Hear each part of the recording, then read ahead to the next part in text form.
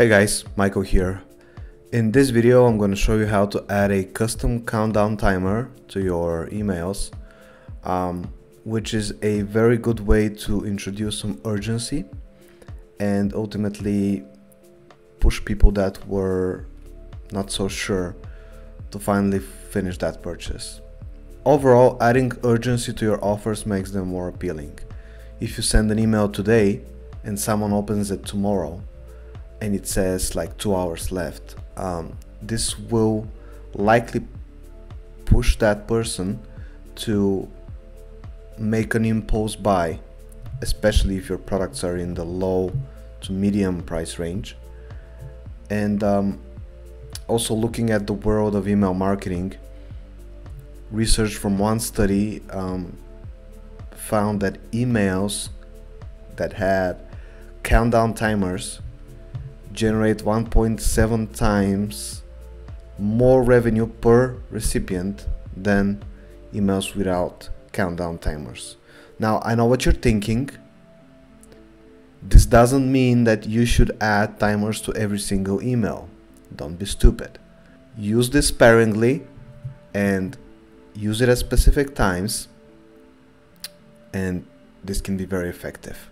Alright, so the first instance is the so-called delivery-based countdown timers. Now we as humans are naturally impatient when we buy something, we don't want to wait a month, a week, even a couple of days. We want it right now.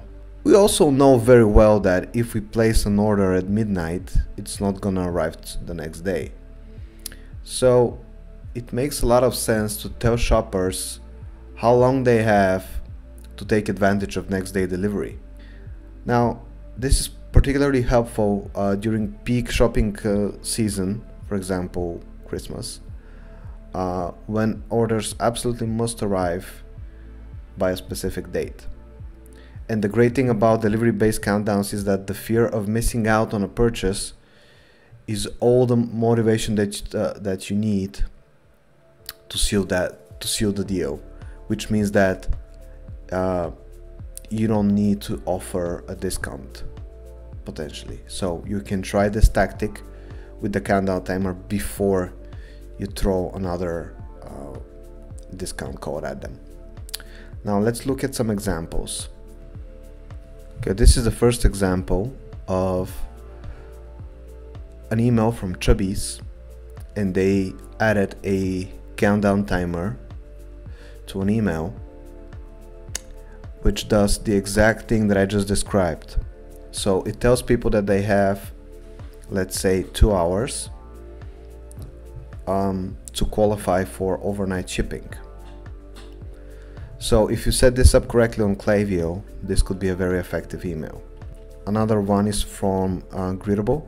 Yeah, they, they added um, a countdown timer for their holiday sale and basically, you know, pushing people to finish their orders if they want to get it, get them on time. And finally, the body shop. Um, again, holiday reminder so it's actually two in one so it's urging people to order by tonight for holiday delivery express shipping free and then 25% off gifts and tonight ends tonight too. So this is this is actually a very well structured offer. It's like three in one. The second instance in which you can use countdown timers is to use them for sales that you're running. So you can add a timer that shows people how, how much time they have left before a sale ends, or you can add a timer that shows people uh, when a sale starts. Some brands use countdowns to drum up interest ahead of major sales events like Black Friday and Cyber Monday, which compels shoppers to register um, for early access and to secure exclusive discounts. So let's look at some examples. Okay, the first example is from Flat Tummy. Here you can see 30% off. Last chance for sale pricing. They've got three hours some copy in here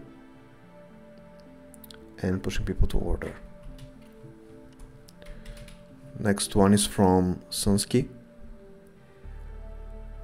Pretty simple, 25% off site-wide, last chance. And then here is one for Black Friday from the Diamond Store. Okay, maybe it's time to finally show you how to create and add countdown timers to your email. Okay, so we're gonna start by typing in send Centric into Google. Sendtric is a free way to create custom countdown timers and add them to your emails without an annoying watermark. So you go to the Sendtric website, you click on the first link. Here's how it looks like. You have to type in your email address. Next you have to select your time zone and and you have to select when does it end. So for example, maybe it ends tomorrow at 3 a.m., which is a weird hour to be honest. Maybe let's end it at uh, yeah 11:55, not 12, 11:55. Okay, at 12. Um, you can change the background, the labels and the digits obviously use your brand colors here.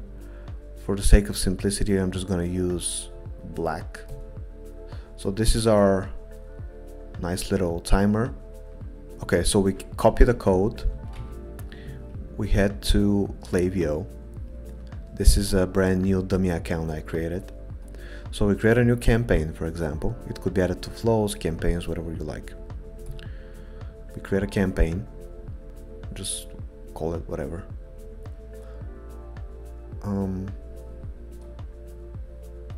oops. Okay, main list, whatever. Main lists. It's only me anyway.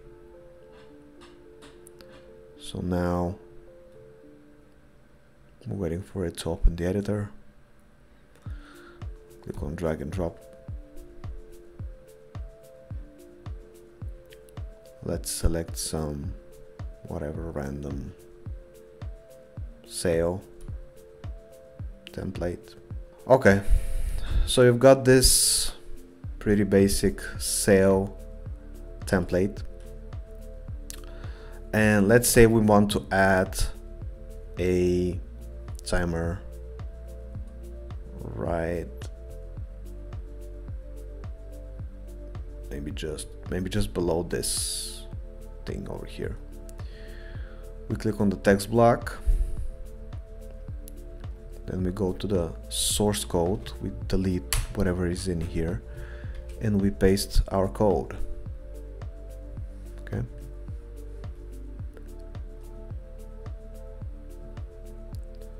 And there you have it.